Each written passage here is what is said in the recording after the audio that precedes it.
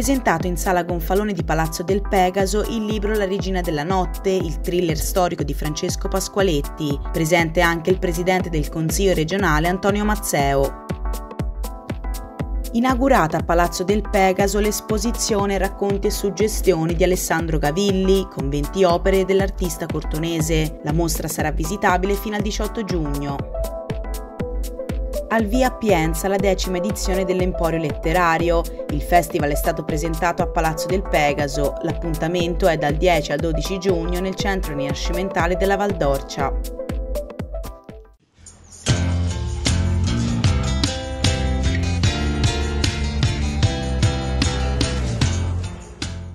Un libro emozionante, scritto da un amico che non finisce di stupire, direttore d'orchestra diventato grande scrittore, è la fotografia che il presidente del Consiglio regionale della Toscana fa di Francesco Pasqualetti nel corso della presentazione del suo libro La regina della notte. Il romanzo, edito da Rizzoli, è ambientato nell'Europa di fine Settecento, mentre infurra la rivoluzione francese e racconta il sogno di gloria di Caterina la Grande di Russia, un intreccio di protagonisti che hanno fatto la storia con la musica di Domenico Cimarosa e di Mozart e il piano dell'imperatrice per dominare il mondo. La regina della notte è un capolavoro, un capolavoro che attualizza la grande storia della nostra regione. E Francesco Pasqualetti per me è prima di tutto un amico, eh, un amico che ho scoperto non solo essere un grande direttore d'orchestra ma anche un grande scrittore che con eh, modernità è riuscito a raccontare pezzi di storia fondamentali per la nostra regione. Dicevo prima a Francesco che leggendo queste pagine che si leggono velocemente si trova tutta la sua maestria nel tenere insieme voci differenti. Ci sono tanti personaggi e a ognuno di quei personaggi viene data centralità, centralità che poi attraverso più voci diventa polifonia e quindi davvero un libro che secondo me segnerà anche la storia della scrittura moderna, della scrittura del nostro tempo. È un libro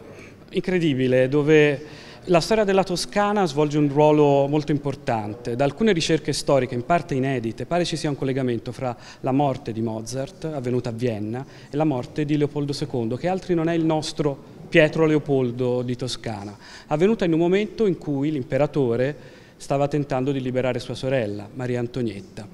Eh, un ciclo di morti eh, inspiegabili legate da un filo conduttore che riporta all'attualità. In quel mese del 1792 la Polonia dell'epoca voleva occidentalizzarsi, aveva varato la più moderna Costituzione europea e la Russia non lo permise e la invase. Tutto questo poteva avvenire anche a causa di queste morti. Una storia tra musica e diplomazia che ha un richiamo con l'oggi incredibile.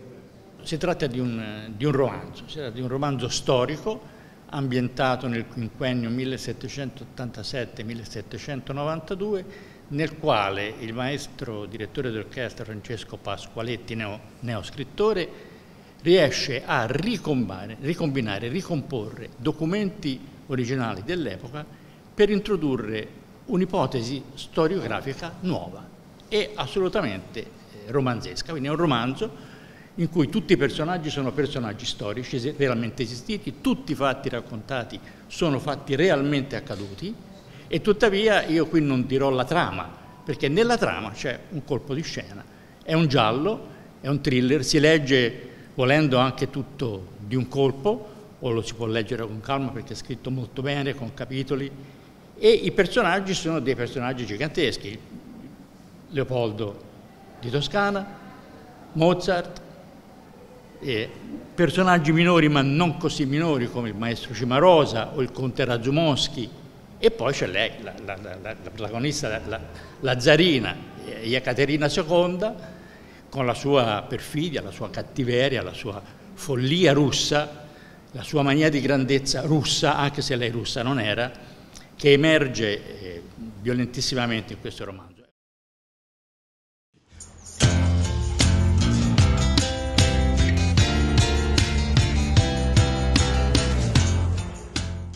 È stata inaugurata lunedì 6 giugno presso lo spazio espositivo Carlo Azeglio Ciampi di Palazzo del Pegaso la mostra Racconti e suggestioni del pittore cortonese Alessandro Gavilli. Fratellanza, Re Covid-19, Maternità, Terzo Mondo sono alcuni dei titoli delle 20 opere esposte che attraverso il bianco e nero e tocchi sapienti di colori riescono a evocare una sintesi metafisica e simbolica tra vita e sogno, mito e realtà. Credo che uno dei fili conduttori sia proprio qui davanti, è la fratellanza,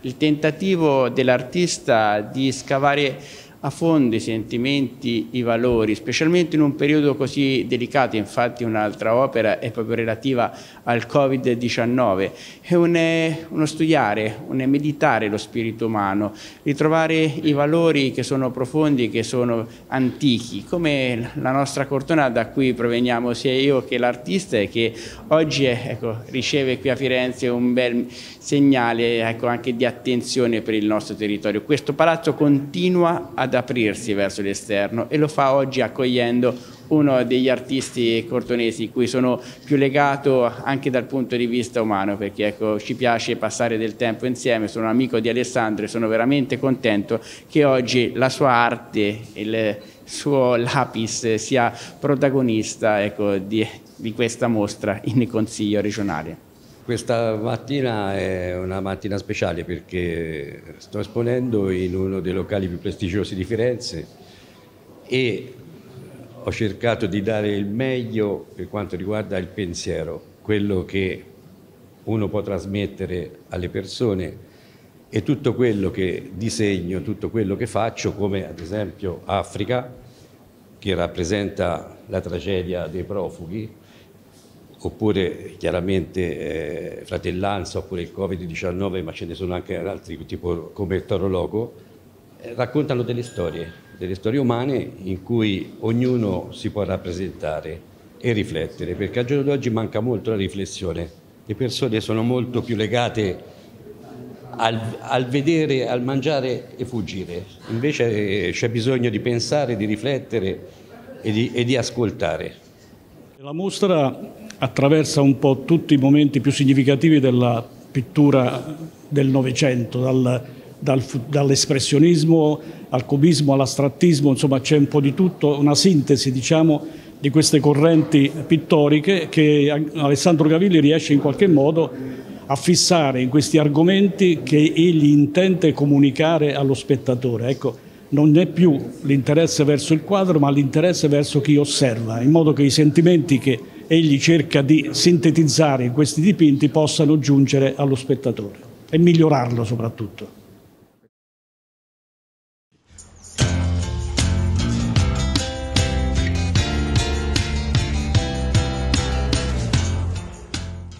Una sinergia d'eccezione tra l'amministrazione comunale di Pienza e l'associazione culturale Compagnia del Teatro Caffeina per un festival sulla letteratura e sui libri nella cornice unica del centro rinascimentale della Valdorcia, dichiarato dall'UNESCO Patrimonio dell'Umanità nel 1996 ed è proprio in questo territorio che dal 10 al 12 giugno si terranno presentazioni di libri, approfondimenti sul mondo della letteratura, dell'editoria, del giornalismo culturale e di ogni altra forma di espressione artistica. Pienza diventerà una vera e propria cittadella della cultura, piazze, vicoli, palazzi e cortili della cittadina per creare un connubio costruttivo tra scrittori e cittadini. È un'iniziativa davvero bella che pone eh, al centro il tema della cultura vista a 360 gradi. Noi conosciamo tutti Pienza per essere un gioiello prezioso della nostra regione, uno dei luoghi più incantevoli. Eh, però Pienza non è solo arte e bellezza, Pienza è anche terra di cultura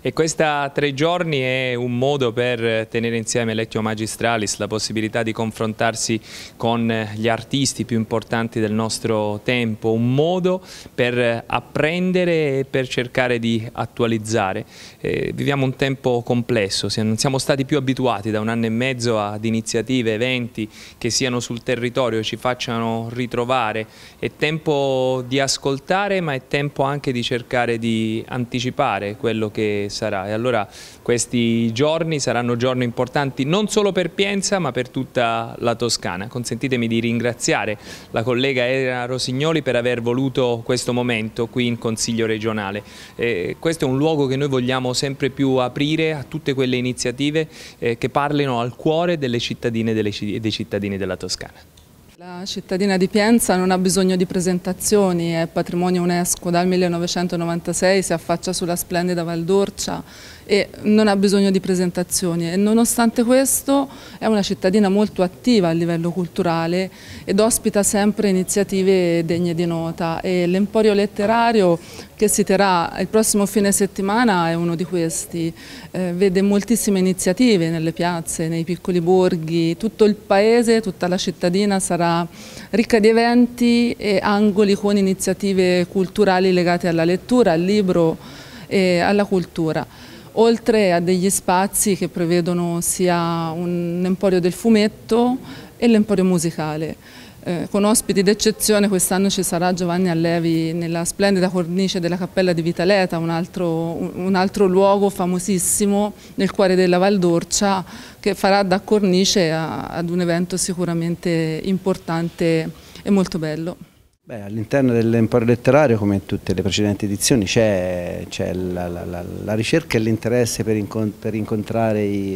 eh, scrittori, saggisti, letterati in senso generale, c'è musica, c'è presentazione di libri, ci sono dei, eh, delle, delle eh, delle, delle, degli interventi interessantissimi anche dei uomini studiosi, per esempio quest'anno sull'archeologia, quindi c'è un po' di tutto, c'è la musica, ci sono eh, concerti e soprattutto c'è questa, questa, sorta di eh, connubio unico tra quelli che sono i cittadini o gli ospiti di Pienza e, e gli scrittori letterati che vengono e nelle strade di Pienza, nelle piazze si incontrano e hanno la possibilità di in qualche modo sposare quelle che sono la bellezza dei luoghi con eh, incontri culturali di altissimo livello. È un territorio, usando un termine agronomico, vocato no? a, questa, a, questi aspetti, nel senso che eh, a Pienza eh, sanno tutti che per 30 anni è vissuto eh, Mario Luzzi e tanti altri letterati sono venuti a Pienza proprio per, per vivere in tranquillità questi, questi momenti e, queste, e, questi, e questi territori. Quindi, eh, nasce come città ideale, nasce come una città che deve offrire eh, stimoli culturali continuativi e l'Emporio Letterario è in, diciamo sì, in continuità con questo progetto che Pio II gli aveva dato oltre 500 anni fa. Quest'anno è un anno un po' particolare, un po' speciale, definiamolo così, visto che sono i dieci anni, dieci anni dell'Emporio Letterario e su questo abbiamo investito molto anche quest'anno. I nomi che trovate nel programma sono di assoluto livello, a cominciare da Giovanni Allevi per il suo chiacchierata concerto o anche con Zaki Awas che è forse il maggiore esperto di egittologia eh, scoperte appunto eh, d'Egitto e più il, varie, i vari nomi del, dell'emporio letterario che sono stati messi insieme. E dicevamo prima anche con eh, gli altri nostri amici, è una stagione un po' particolare, ripartiamo dopo due anni come tutti sappiamo di situazioni molto complicate e molto difficili, ci sono molte attività anche culturali, tantissime che stanno riprendendo in questo periodo, per cui è stato veramente difficile riuscire anche a dire, eh, no, distinguere tra le varie offerte, tra le varie proposte, quali potessero essere più idonee appunto per un decennale come questo del festival.